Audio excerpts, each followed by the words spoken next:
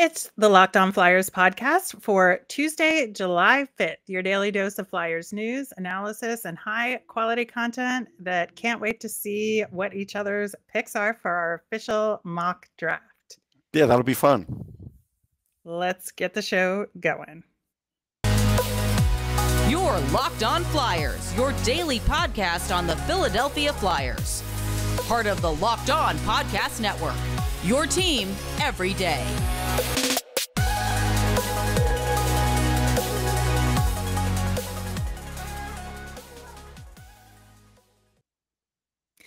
Hello, once again. Welcome to Locked On Flyers. I'm Rachel Donner. You can find me on Twitter at rmiriam. I'm here with prospect expert Russ Cohen, who's on Twitter at Sportsology. Thanks for making Locked On Flyers your first listen every day. You can follow us on Twitter at Locked On Flyers. You'll keep up to date on all the Flyers news and our episodes.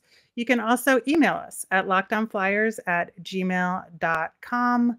On today's show, we are going to get caught up a little bit with the Ivan Fedotov situation and then dive right into our personal mock draft for the top 10 picks. So excited to get to that. Locked on Flyers is free and available on Apple Podcasts, Spotify, Audacy, wherever you are listening right now. So subscribe. You'll get all of our episodes here on the Locked On Podcast Network. You can also catch us over on YouTube. And if you're lucky, you might get to see things like my cat who showed up on yesterday's show. So uh, subscribe over there as well. Okay, Russ, we have a little bit of additional information on Ivan Fedotov. It seems he has been taken to a naval training base for his military service, kind of somewhere in the Arctic. Mm-hmm. Yeah, I mean that's the report.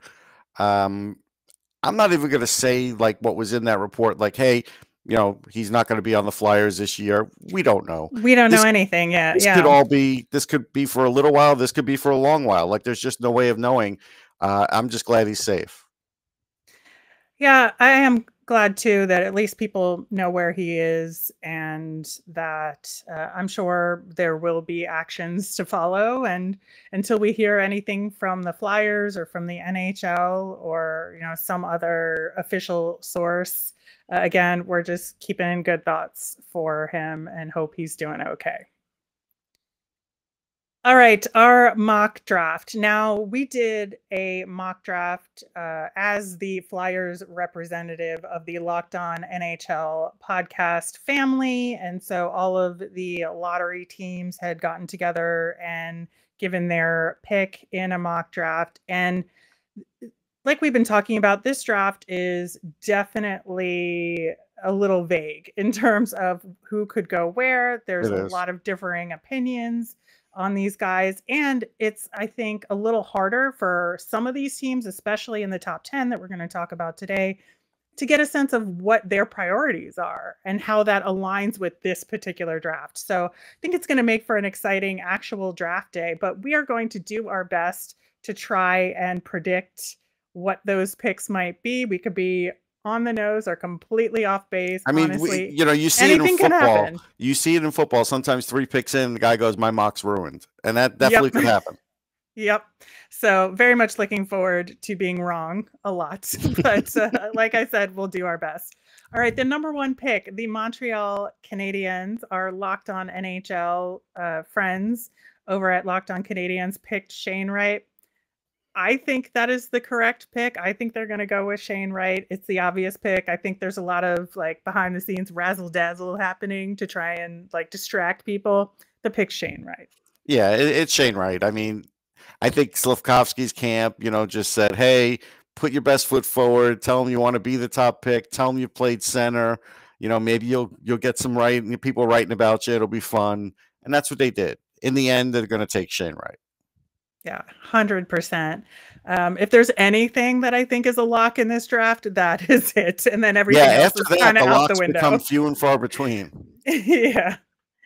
All right. The number two pick is the New Jersey Devils. Our friend over at Locked On Devils, Trey, picked Juraj Slafkovsky, who is, you know, if all of the media reports are true, could be that number two pick. Uh, what's your take, Russ? My take is they're going to pick Slafkovsky too. And uh, I can make a great argument for Cooley. It doesn't matter because they've been looking for a power forward for a long time, and Pavel Zacha never really cut it for them what they were looking for. So this seems like it's going to happen regardless. So that's that's where I'm at with that. Yeah, I still think the Devils are a wild card here. And I think it's going to go one of two ways. And this is where I'm just trying to take a risk here.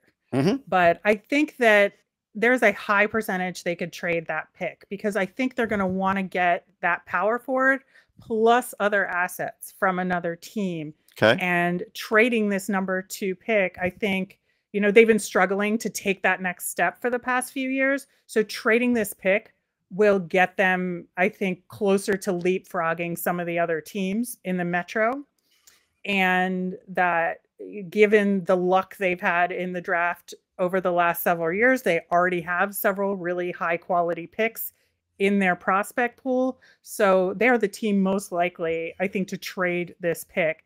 And then I think if they don't trade the pick, they're going to take Logan Cooley and because I think they don't trust their their center depth, even though they think they have it. I don't think they trust it because okay. they, again with like Zacha, I just don't think they trust their own system at this point. So they're just going to load up on guys who can play center because they know they can float them to wing or float somebody else to wing. I'm perfectly okay with that. If I were running it, I I would run it that way. But I just don't feel like they're gonna. But um, just to back up your trade part, I mean, Fitzgerald did say he he would trade the pick, whether it happens or not, who knows? But he did say he would. So, yeah, I, I think that if I'm gonna, you know, go out on a limb on something, this is gonna be the pick thing. two. You didn't wait long.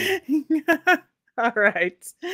Pick number three, the Arizona Coyotes. Um, our friend Robin over at Locked On Coyotes picked Logan Cooley this is where I think Juraj Slafkovsky will fall to if my scenario for the number two pick goes through. Yeah, and, and that could happen. Um, I have Simon Nemec here because I'm I'm reading the tea leaves a little bit, and uh, Jakob Chychrun's not going to be there for that much longer. And while I live, like Victor Soderstrom, they're not loaded with young D men, or at least ones who could possibly play top pairing.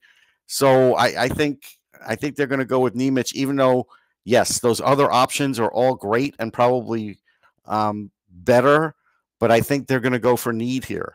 I, I, do. And and I look, and Nemec is a hell of a player. Anyhow, it's not like it's that much of a reach. Yeah, uh, I should have said that uh, I think that they will pick Logan Cooley if Juraj Slafkovsky takes by whoever the Devils trade right. pick to in that number two slot. So I think that Cooley and Slafkovsky will go two, three. I'm just not sure what order yet based on if there's a trade. But yeah, I just think that the temptation of an offensive threat always outweighs the defensive need, especially for teams like the Coyotes. But the defense does produce offense. He's an offensive defenseman. I know. I'm just right. that's that's where I got to take this one. Okay. All right. Uh, we will be coming back next with the next set of picks, uh, four through seven, including that Flyers pick at number five. I know you can't wait to hear what we're going to say on that front. But first, we are going to hear about our friends over at Built Bar who have now brought their coconut brownie chunk built bar into a puff. That's right. The coconut brownie chunk built bar flavor you love in a deliciously chewy marshmallow covered in 100% real chocolate. It's like a fluffy cloud of coconut brownie goodness, but it's also good for you. It's low calorie, low sugar, high protein, and all delicious. It's the perfect treat, perfect when you've got that craving, you need to satisfy a sweet tooth, or if you need a healthy snack, they're an excellent source of protein. All built bars are made with collagen protein, which your body absorbs more efficiently, and that provides a ton of health benefits. Eat something that tastes good and is good for you. Coconut brownie chunk puffs are only here for a limited time, so go to built.com now to make sure you don't miss out. They're going fast because they taste amazing. Delicious coconut, rich sweet brownie, creamy marshmallow. You can't beat it. So go to built.com right now to order your box of coconut brownie chunk built puffs right now. Use the promo code locked15. You'll get 15% off your order. That's promo code locked15 at built.com.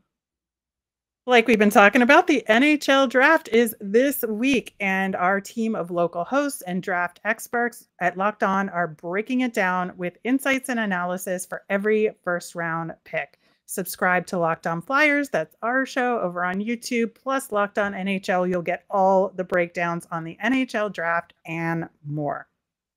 All right, Russ, we are at the number four pick. That is the Seattle Kraken. And Erica over at Locked On Seattle Kraken picked Simon Nemec for this fourth overall pick. Uh, who you got? I I think they're going to go with Logan Cooley if he hasn't gone yet. I think they would go with that one-two Matty Beniers, Logan Cooley. That would serve them well. I think Hakstol would like that. Cooley's good two-way. Be a really good fit for them. Yeah, I can't disagree with that in a lot of ways. I think if he does fall, I, I, think all of those points make a lot of sense. And I think he's just such a well rounded player. And for this expansion team situation, they need kind of guys that can fit in whenever and wherever. Yes. And I think that's a huge part of what they're going to need to do to take that next step forward and get closer to being a competing team. Uh, Logan Cooley could be a big part of it. Defense, like you said, also wins you championships. And so I think that, you know, there's been this conversation between Simon Nemec and David Jiricek of who was, you mm-hmm. know, of those two defensemen, who you're going to pick over the other. And I think just the conventional wisdom says Nemec is the guy you go with in these situations that uh, Jiricek just has a little bit further to go in terms of development to get there. And so that's why I agree with Erica. And I think that the Kraken are going to take Nemec, assuming he's available in that number four slot. I think it just makes uh, so much sense for them. Yeah, I, I could see it. It definitely could happen. Uh, I still think Jiricek is better than Nemec, and I will continue to say that. I agree with you in a lot of ways. I think that his ceiling seems to be higher. I yeah. just think that Nemec seems to be more of a reliable bet, but your Jiricek could be ultimately better in the long run. You just it's a little bit more of a gamble. Not much, yeah. but a little bit. Yeah, yeah, yeah. It's true. So that's kind of where I'm at with those two. And uh, with that, we have reached the number five pick overall, and that is for our Philadelphia Flyers. And uh, when we did our mock draft, we said it would be David Jiricek uh, for many of the reasons we have talked about already. But uh, do you think it'll be any different, Russ? I I don't, and I think now with so much doubt about Ryan Ellis, it has to be Jiricek if he's there. It doesn't matter how much I like Matt Savoie. I'd probably lose the argument at the table because if if they know more than you know they're telling the public on Ellis and they feel like he's going to sit out this year or be out for a big portion of this year and then we're going to cross our fingers that he can get through a season and not have to get surgery or whatever who knows what's coming down the road then you really need another big time defenseman here if you can get one yeah i god i think i i want that to be true more than anything on this planet. I would I would Is like it too rational of thinking for you? It's too rational thinking for me. And I feel like the Flyers except for and I'm gonna like probably piss off some people, but it's okay. Except for the Nolan Patrick pick, which I think was very logical and very rational at that time. Just mm-hmm. I want to repeat that at that. No, time, it was. It was. It was very logical and very rational. And other than that, they seem to not be completely logical mm-hmm. or rational. and they seem to just like get it in, in their heads that they know better than everybody else out there about the potential of some other person. Yeah, I mean, so so here's where that could come true. So with Cutter Gauthier, um, the issue would be if who that's who I think they're going to pick. By the way, who if they believe he's the next Auston Matthews, which I don't believe, and I did see Matthews at a young age, and I've seen him at a young age. Um, if they believe that, and that's what they've believe at the table, then they're going to take him because they see what he's done with the Leafs. Yeah, and I think that the other thing is recency bias that's going to affect the Flyers Yes. here because I feel like that's something that does affect the Flyers in their drafting to a large degree. Well, it did with Scott Laughton as an example. I brought that up Yeah, before. yeah, And Laughton's so good, but he, was taken in a He spot where people were like, too early. "Mm, yeah, too early. He was taken too early, and that's where I feel like the U18s Cutter Gauthier had a really good tournament. he did. And I think that's where this recency bias is going to come into play for the Flyers. They're going to get distracted and kind of second guess themselves and say, no, no, no, we know better. And our scouts are magic. And and so they're going to go with Gauthier. Yeah, and listen, and he's a terrific player. Like I, I, Yeah. I, I've written about him. I've glowed about him. I just don't know if he's going to be a center. I've seen him play center, which is more than some because you know he would play like center every once every like five six games for the NTDP, and I happen to be live at one of them, and and he's good at it. Is he going to be good at it defensively? I don't know. That's the part where I worry about it for him.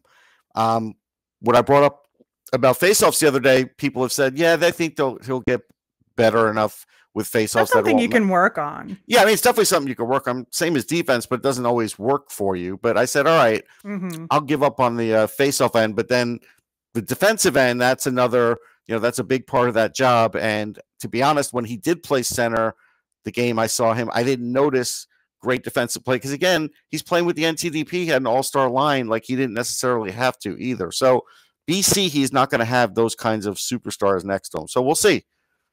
Yeah, I I think it's just uh, anything can happen at this draft, and the Flyers again have certainly had a history of surprising us. So I I think that's why my gut says they're going to make that pick. But then we get to the Columbus Blue Jackets in the number six position, and uh, Jay over at Locked On Columbus Blue Jackets picked uh, Frank Nazar, which I think is a good pick, but it's just a little high. I think there are other guys who have a higher upside that were still available at that time. And I think if the Flyers pick Gauthier at number five, Columbus says, "Oh my God, David Jiricek's still here. We're taking him." Yes, if that scenario happens, I believe you're right. I'm going to say they're taking Cutter Gauthier there, but I would also just say that uh, I don't think it will be Nazar because I would take Savoie, Lekkerimaki, or Mhm. Kemell over Nazar. And Nazar is a heck of a player, but Yeah, those guys are too high. more. Yeah, it's just a little high. Those guys are a little more known for scoring, um, or at least goal scoring. And Nazar is terrific, but there's still things he has to work on. But either way, that's that's the way I think it's going to go. Yeah, I, I agree with you there. I think it, it could flip flop depending on what happens, but um, given who's available at that slot, I, I just see it being a pretty simple choice for Columbus. Where I think it starts getting a little bit more dicey in terms of predicting is this next number seven slot with the Mhm. Ottawa Senators. And um, our friend Ross over at Locked On Sens, uh, they picked Cutter Gauthier in this position because he was available. And he could be there. He could be there, and I think that's a pick that the Senators would make if Yes. Available. In our scenarios, he's not available. And so this is where I think Savoie goes because I think that Ottawa uh, thinks they need flashy goal scoring from sort of a selling the team Mhm. kind of way. They're going to get this new building. They want a dynamic goal scorer. They want to kind of duplicate maybe what Montreal has done with Cole Caufield. They're like, oh, we can get our own Cole Caufield and it'll be great. And so that's why I think the Senators are going to pick Savoie. So I've gone a different route because with Ottawa, you always do have to worry about paying guys and when they want to pay and all those kinds of things. And I went with the goal scoring aspect too.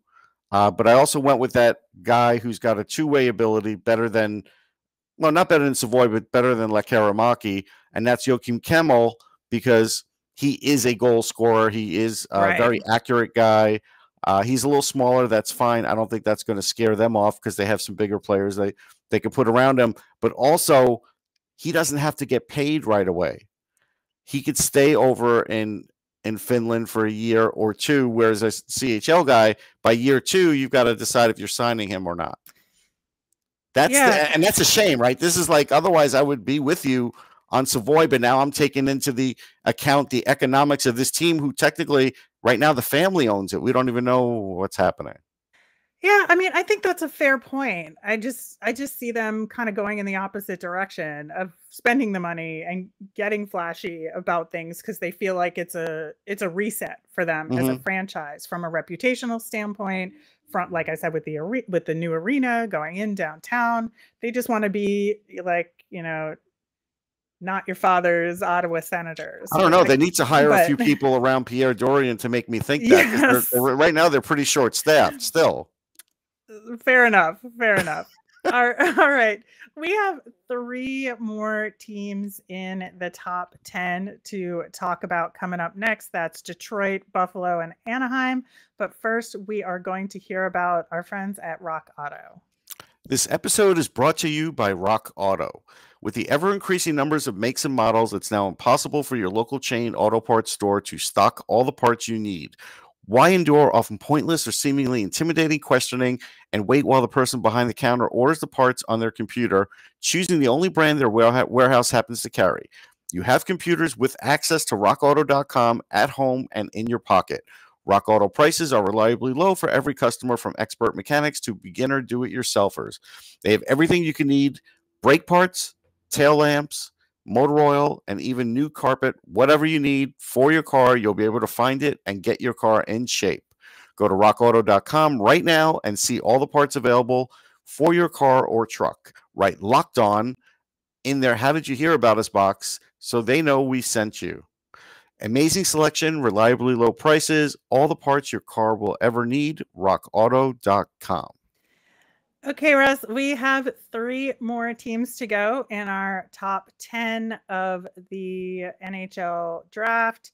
And the first up is the Detroit Red Wings. And our pals over at Locked On Red Wings picked Brad Lambert, which I think was a bit of a surprise. He's a risky choice. You know, there's some kind of character issues, as they say, with him. And uh, I think that there are still some players with less risk on the table at this point. And so for me, this is where I think Kemell is going to go. That mm-hmm. I feel like it's a good fit. I feel like a player like him is going to work really well in a in an organization that Yzerman is in charge of. I think he'll know how to get the right complementary pieces to make Kemell shine in the way that he can. And, you know, you um, talked about him a bunch in the last segment. And, and mm-hmm. you know, for all those reasons, I just think Yzerman is too smart to pass up on a guy like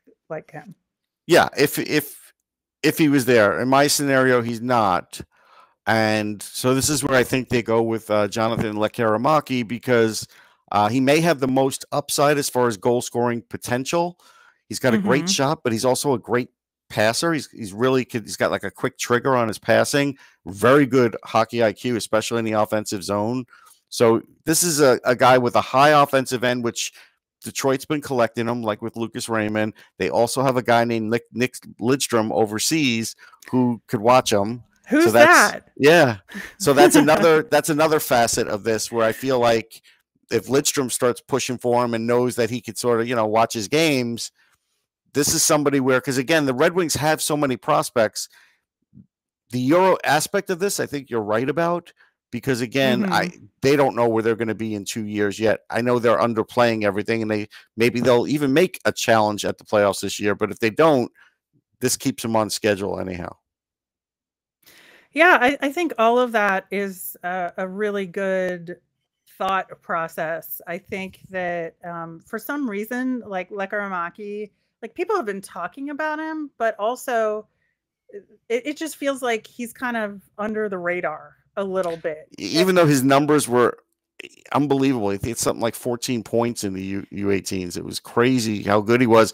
And and again, I just think you know, you you watch that line and all those players are getting talked about. And so maybe for some reason people are leaving him out and I'm doing the opposite. He was the first guy I I went on that line and said, "This is the guy." I think the rest are working off of him, but I think that's the what's at play here. Mm-hmm. Exactly, exactly. Well, we'll see if you're right about that one. In the number nine slot is the Buffalo Sabres. And uh, Joe over at Locked On Sabres picked Joakim Kemell in this slot, who we've already talked about. Um, I think that would be a smart pick if he's still available. I'm sure that's why Joe uh, yep. snapped him up. Yeah, I mean, if he's there, sure, I could I could go with that pick. I just can't envision him being there, even even at his stature. I don't think so. Yeah, and so that's why I kind of went with a little bit of a reach here and said that they're going to take Conor Geekie. I think they're okay. going to be tempted by the big guy, and he's good, right? And I yeah, he's very that, good. Um, I think he again, you know, he's one of those guys who's I think if he pans out really well, his ceiling could be really high.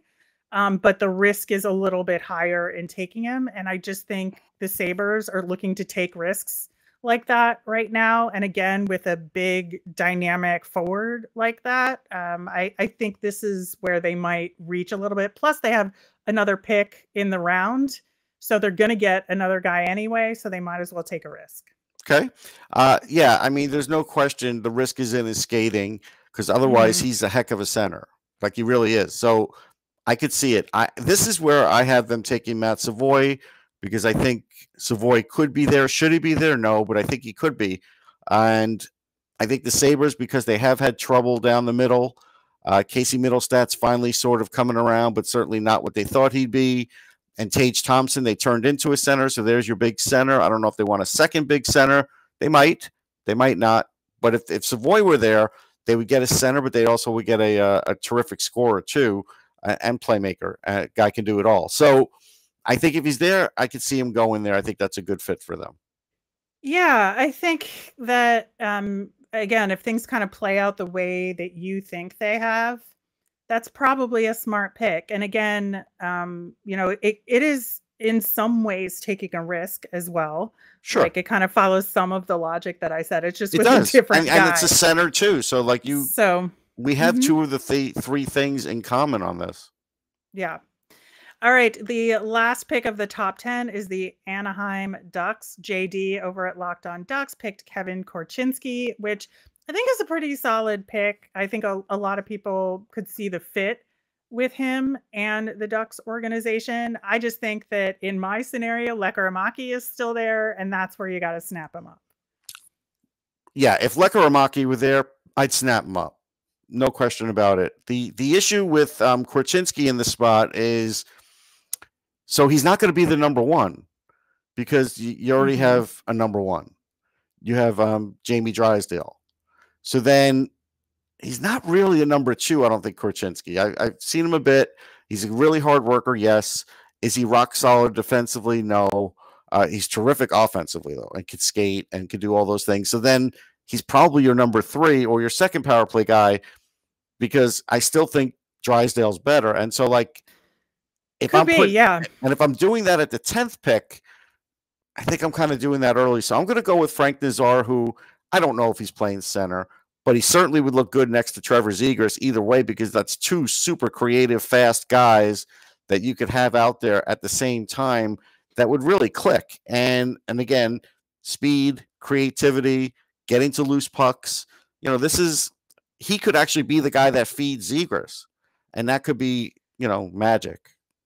No, I think that's a really good thought, and would not be surprised to see the Ducks take Nazar at that spot. And I think you know some people might think it's still a little bit too high of a slot, they but might. I don't think it's too much of a reach, honestly, in this situation. And given all the points that you said about you know how they they have some really young players that are you know, playmakers like Zegras, and I think this might be a good fit.